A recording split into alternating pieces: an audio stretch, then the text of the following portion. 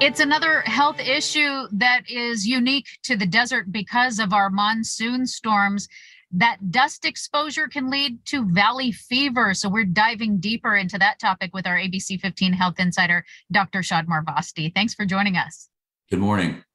So, let's talk a little bit about what is valley fever and how do we get it?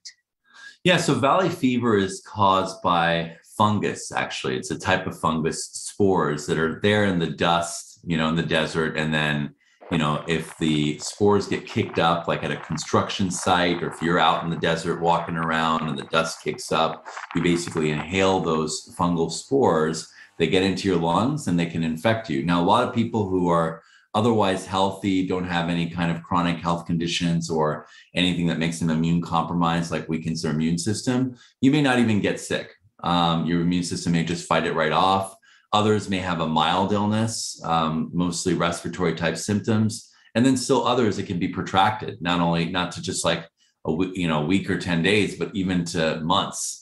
Uh, in which case you're you're going to have to have some treatment. It can be hard to diagnose sometimes because it's a respiratory illness, so that kind of mimics others. So how can we tell the difference? Yeah, all these respiratory illnesses, whether it's COVID, flu, the common cold, um, and you know, um, valley fever or cocci, which uh, is the medical term, coccidioidomycosis. In general, there's there's you know most of them have fever and cough. The cough with valley, valley fever tends to be a non-productive dry cough, but that's not an absolute rule, but that's what it tends to be. And then additionally, sometimes anywhere between 10 to 50% of people with valley fever may develop a rash. And that's something that you don't see with a cold or flu or with COVID. And it could be a rash where it's on your arms and your and your legs and, and your chest. And it's kind of like these uh, reddish splotches uh, that have a little bit of an opening area sometimes. Um, you know, they're just basically spread out across your body. There could be also another type of rash, which is just really on your shin uh, on both sides of your leg and nothing else. Both of those two different types of rash uh, rashes are associated specifically with valley fever. Uh, there's a simple test that you can get at your doctor's office. Um, usually, we don't do any treatments for it if you're otherwise healthy and the symptoms are mild.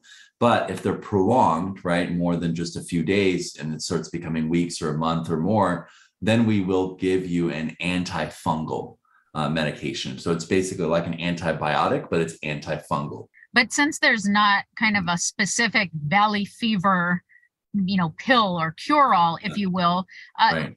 are there any ways that we can avoid it?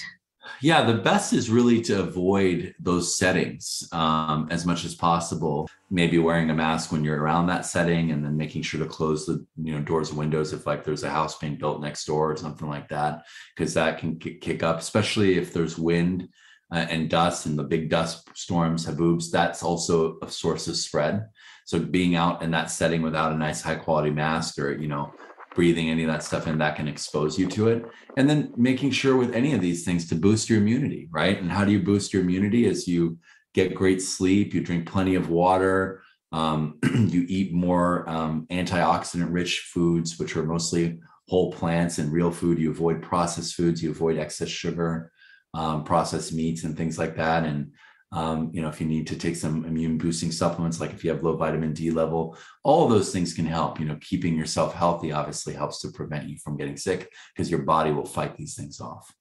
All part of living in the desert, knowing how to handle it. So, more helpful advice as always, Dr. Shad. Thank you.